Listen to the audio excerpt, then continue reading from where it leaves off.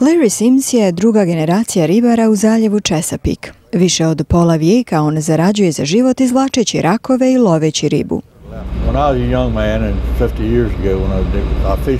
Kada sam bio mlad, prije 50 godina, ribario sam u zaljevu. Na proljeće bi u flaše uzimali vodu iz zaljeva, prali smo suđe i pravili kafu sa tom vodom.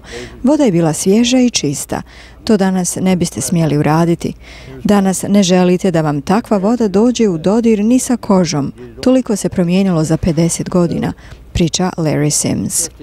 On kaže da je razlog za to veći broj stanovništva i više otpada. Ribar Chucky White, čiji je otac također radio u zaljevu, se slaže. Žalosno je da to hoće sve da odbaci. I ne govorim samo o onome što radim kako bih zaradio za život, već o cijelom zaljevu Chesapeake, kaže Chucky White. Obojica rade iz obližnjeg ribarskog mjesta Rock Hall u Marylandu. Menadžer Ronnie Fittian kaže da tu nekoliko faktora ima ulogu. Bolesti te zagađenje i prenatrpanost su brojni razlozi zbog kojih smo izgubili biznis. Kada perem kola i sapun se saljeva u odvod i ja postajem dio problema kao i svi drugi. Zaljev to jednostavno ne može isprati. Rast, zagađenje, sve su to razlozi. Ne možete kriviti ni jednu osobu, treba kriviti cijeli svijet.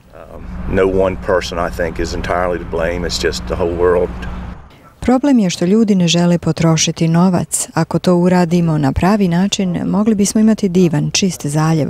Ali svako želi proći što jeftinije i uštediti, kaže Larry Sims.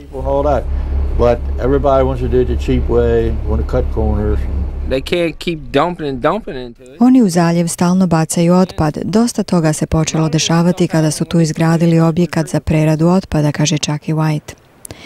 Ribari kažu da takvi objekti ne uklanjaju dovoljno nitrogena iz otpada.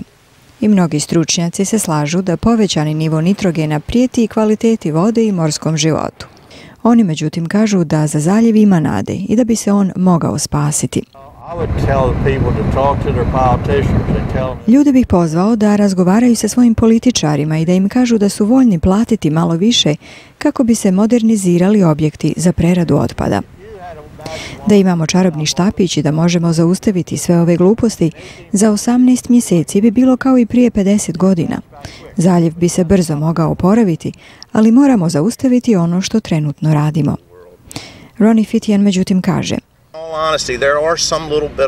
Budimo otvoreni za mogućnosti, tračak nade postoji i nadam se da će se stvari promijeniti, ali nikada neće biti kao što je bilo prije.